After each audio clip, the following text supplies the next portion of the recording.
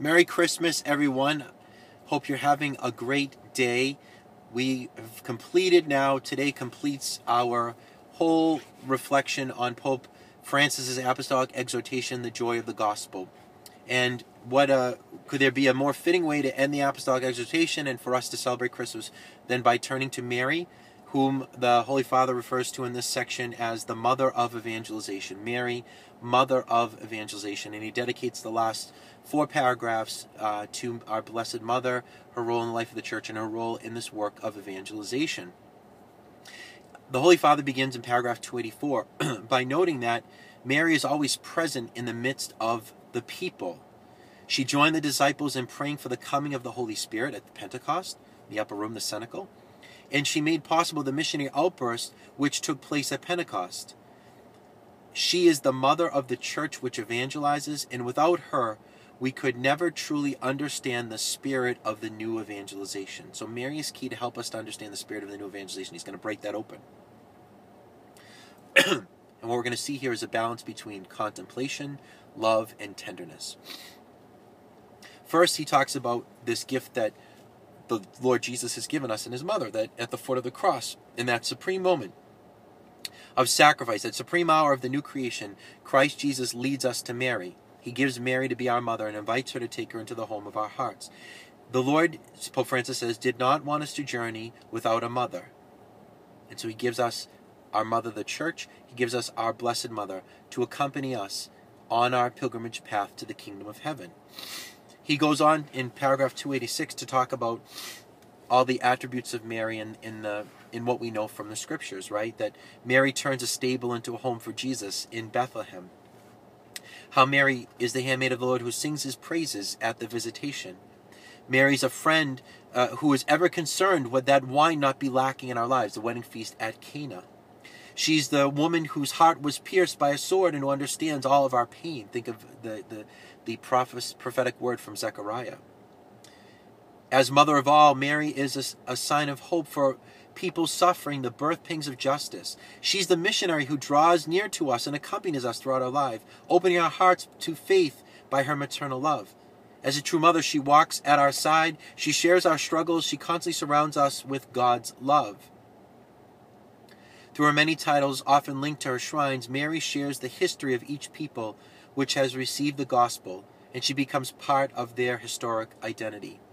So, based on what little we know of Mary in the Gospels, there's not a ton written about her, but what we, we do observe a woman, our Blessed Mother, who played a very important role in the life of Jesus Christ.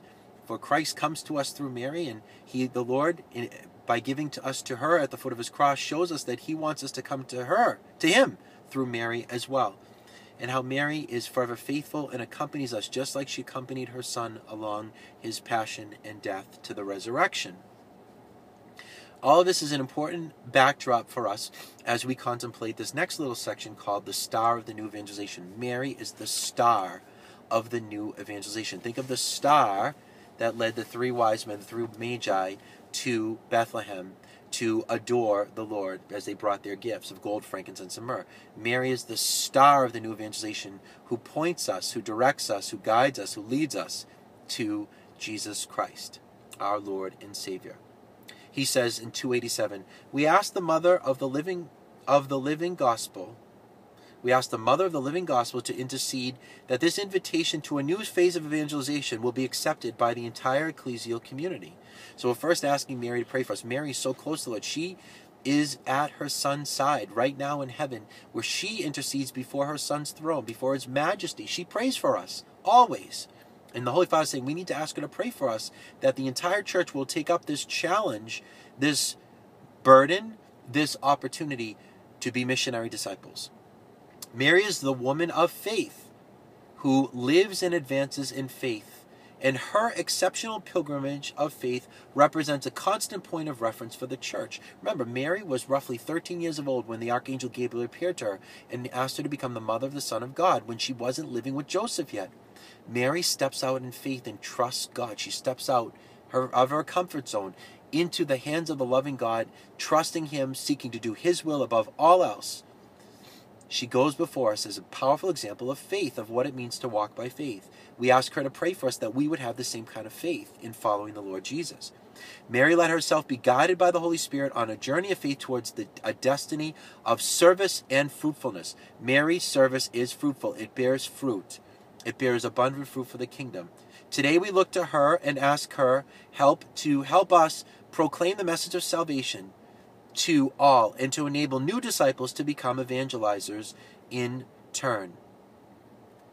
He goes on.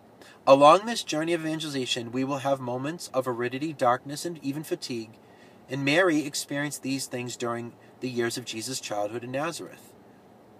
Think about that, right? So there's nothing that we go go through or experience that she didn't experience as well.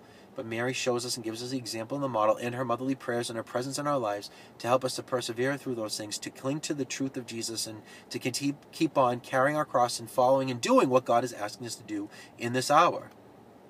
Mary, for many years, lived in intimacy with the mystery of her son and went forward in her pilgrimage of faith. We got to remember, like, things were, Mary's existence in her life was not a, one of uh, all roses and everything great. Like, Mary, you know, walking in the mystery of her son's cross, didn't have all the answers. It was her faith that guided her and helped her to cling and live and walk by faith to live in God's will.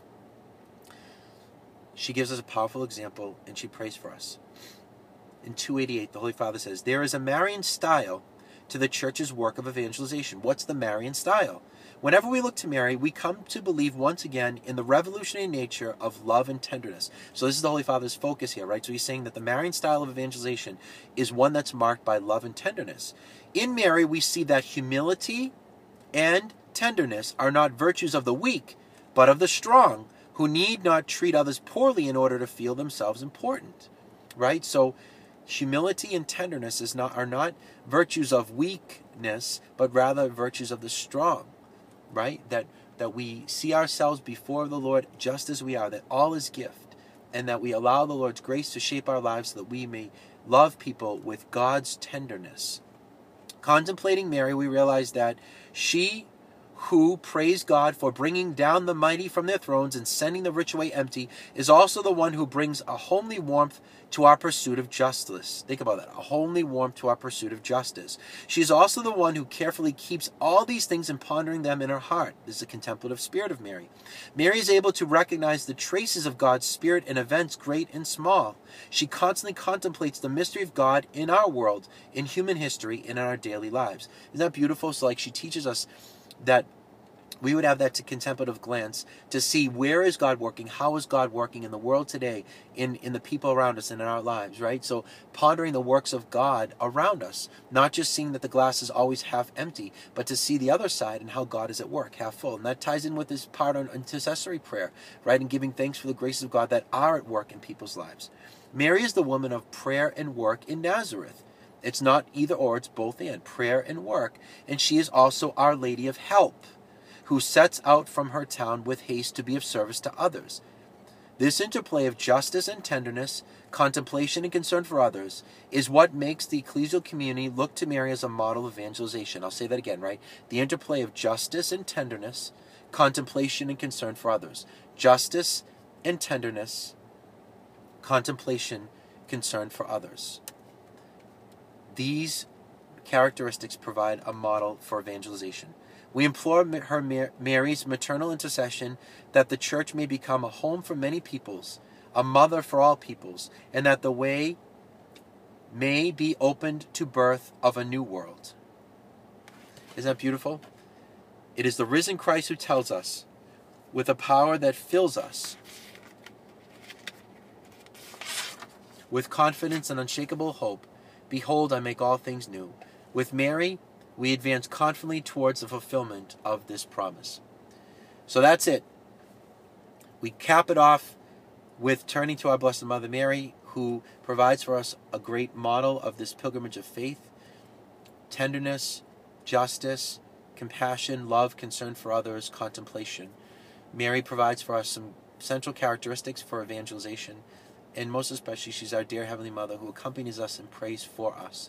That concludes our reflections of the Holy Father's apostolic exhortation, the joy of the gospel. I hope it was a blessing to you um, as you made your way to this Christmas day. And as we go forward now in the glory and the light of Christmas, may we take all that the Holy Father has taught us, may it be integrated in our lives, and may we be open agents, vessels of the new evangelization, bringing the joy of the gospel to others, not being afraid to allow the Holy Spirit to guide us as He wills, for the glory of God and the salvation of souls. And may Almighty God bless you this Christmas day, the Father, the Son, and the Holy Spirit. God bless you. Merry Christmas.